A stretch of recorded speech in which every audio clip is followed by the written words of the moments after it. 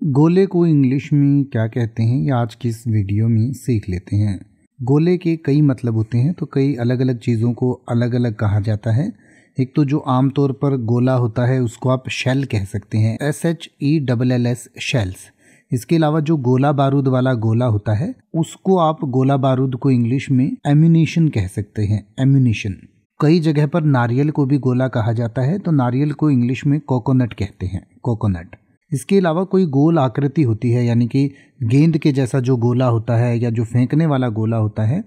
उसको स्फीयर कहते हैं S P H E R E sphere. और जैसे कि अगर आप ये कहना चाहें कि जामिति में एक वृत्त को एक गोले के रूप में जाना जाता है तो आप कह सकते हैं in geometry a circle is known as a sphere